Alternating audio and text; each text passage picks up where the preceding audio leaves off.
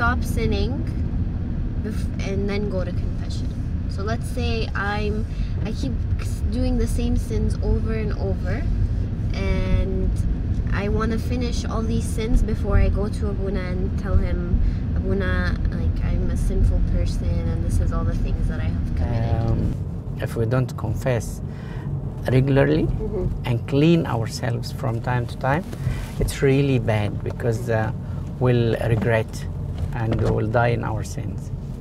So Mm. we have to. So let's say we are going to confession regularly and for some reason every time we go we don't feel anything. We don't feel like we're clean. We don't feel you know maybe we still feel like we're still sinful. Yeah, this is the, the, the devil doing that with us. He's always trying to uh, hard mm-hmm. to convince us that we are still dirty mm-hmm. and we are not clean uh, even after confession.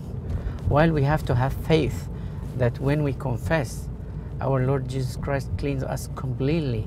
Mm-hmm. And uh, the, the, the confession, it's a, it's a, it's a kind of, you know, repentance.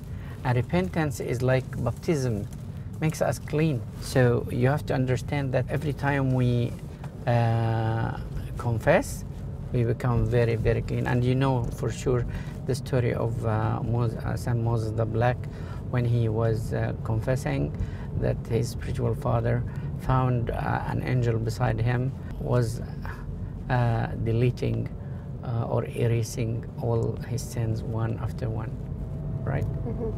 Okay, and then so let, on that topic of the angel that is appearing, sometimes when someone is talking about um, the the realm, the supernatural realm, so they say, you know, a demon appeared to this person or a saint appeared to this person while they were praying, and sometimes I feel myself scared from that. We don't scare even for if it is appearance of one of the saints, it's a blessing. We don't we don't feel uh, bad or we don't scare at all because always if a saint or an angel will appear to you, he will give you peace into your heart before his appearance. So there is no problem at all. What if it is not an angel? It's a, a kind of a demon. Also, we don't fear anything because we are strong enough, and we don't we don't need to fear anything because the angels of the Lord is with us, and we are with the Holy Spirit.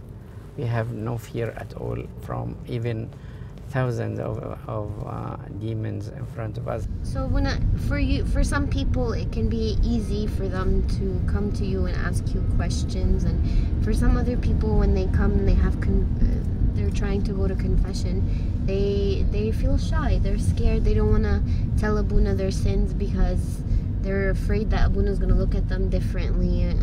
What's how do we approach this? Actually, uh, when when somebody comes to Abuna to confess, yes, the the, the look of Abuna towards him completely changed to be better and to be perfect because this person now he is very clean and uh, he has no sins. So he's like a baby. He's pure. So Abuna love him more and more than before.